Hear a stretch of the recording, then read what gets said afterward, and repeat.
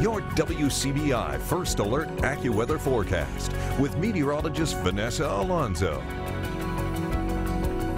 Good afternoon. Thank you so much for joining us. We've been seeing the clouds move in over the last several hours. This is all ahead of our next storm system that will be bringing us better chances for showers, even some thunderstorms on Friday. But the good news is no severe weather is expected for us. We are seeing cloudy skies and dry conditions this afternoon on our Alpha Insurance Skycam network overlooking downtown Tupelo. 78 right now with a breezy south to southwest wind. In the Colum in Columbus, more of the same 78 right now with the clouds. And we'll be seeing temperatures continue to rise over the next several hours from the 70s into the lower 80s. So definitely it's going to be a warm next few hours for us. So if you're a fan of the 80 degree weather, enjoy it while we have it as we're going to have those chances for scattered showers heading into the afternoon. But I'm not expecting much. It's going to be very light. Not everyone's going to see it.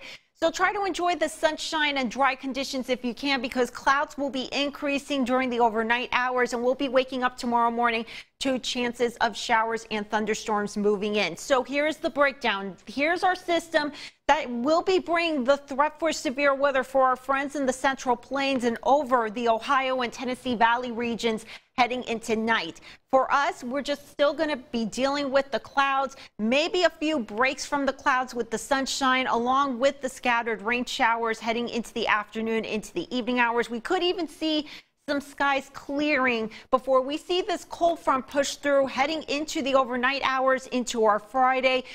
Again, no severe weather threat for us. We're still going to get some heavy downpours, maybe hear some rumbles of thunder, but that's all I'm expecting for us heading into Friday. This cold front will be pushing through on Friday during the day. It should be out of here by Friday night into Saturday morning.